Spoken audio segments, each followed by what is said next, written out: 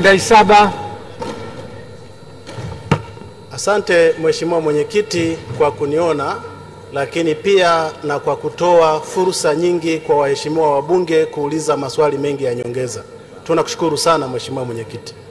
Mheshimiwa Mwenyekiti, serikali ilitenga fedha kwa ajili ya kujenga minara tisa ya mawasiliano kwenye jimbo la Ngara.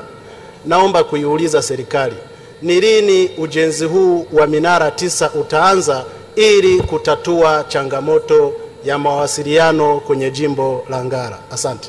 Mheshimiwa Waziri. Mheshimiwa Mwenyekiti, naomba kujibu swali la, uh, la nyongeza la Mheshimiwa Ndaisaba mbunge wa Ngara kama ifuatavyo.